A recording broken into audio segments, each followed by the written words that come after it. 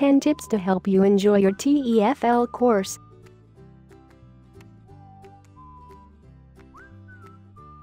People have different reasons for taking a TEFL course, but everyone that embarks on the journey surely wants to succeed. It can be a challenging experience, but should also be enjoyable. Here are some tips to help you avoid getting too stressed during the time you spend on the course. Although they're mainly geared towards on-site courses, many of the points apply to working online too. 1. Don't appear to be too serious. You will find that teaching English can be fun, and most teachers that students respond to well have a sunny disposition. Try to develop that attitude whilst you're doing the course. It doesn't mean you can't be studious, but avoid being dour. Even if you don't feel on top of the world, you will improve your own mood by acting in a positive way. 2. Accept mistakes. We're not robots. Remember that you're doing a course to learn something new. Don't expect to do everything perfectly straight away.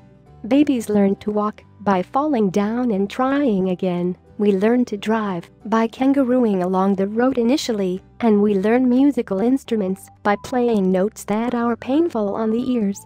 Try not to get frustrated when you find something difficult, just treat it as part of the learning process and enjoy it. 3. Follow your trainer's advice.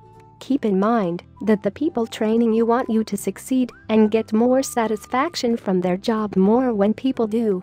Even if you've been teaching for some time it may be that you've become stuck in your ways or simply haven't taught English as a foreign language before, which requires its own skill sets. Have fun trying out new ideas and procedures. You've paid for their service and advice after all.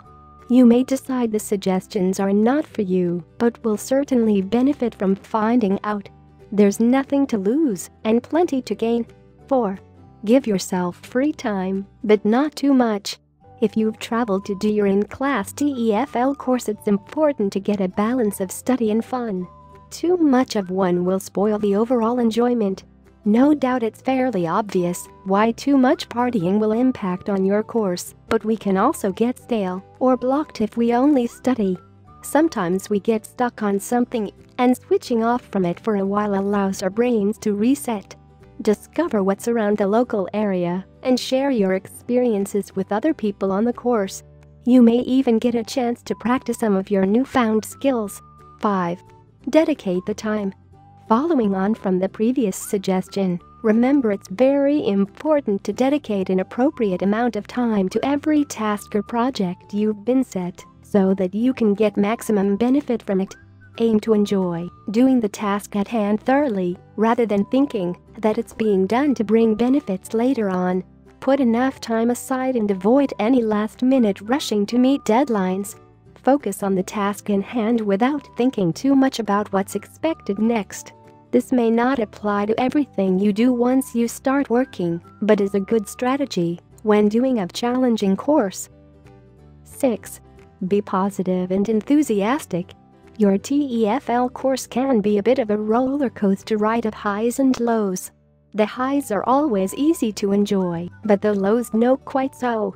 Aim to maintain a can-do manner, even when you're finding it tough going, whether with grammar, phonology or teaching skills.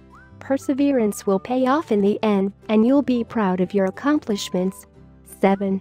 Show interest in others, help each other everyone benefits that way. We all feel good when we can see that we've made a positive difference to those around us. Use your positive and enthusiastic manner to help support and motivate others on the course who you see are struggling. You'll find it's a two-way process. Symbiotic is the word, a good one for you to teach too. 8. Recognize improvements. Sometimes we have to look back to look forwards. Think about the very short time ago before you started the course and consider all the things you've learned since then. Our courses are certainly packed with great information, so you should take pleasure from the progress that you've made at whatever stage you're at, knowing that there's more to come.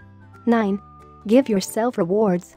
You will undoubtedly find some parts of the course challenging or not to your liking, when this happens, tell yourself that you're going to do something particularly nice after it's finished. Indulge yourself. 10. Don't bottle it up. If you feel unsure about something, or you disagree with something, let your trainer know, and then consider their response and reasoning carefully. Don't let small issues spoil your enjoyment of the course. Are you ready to take your TEFL course?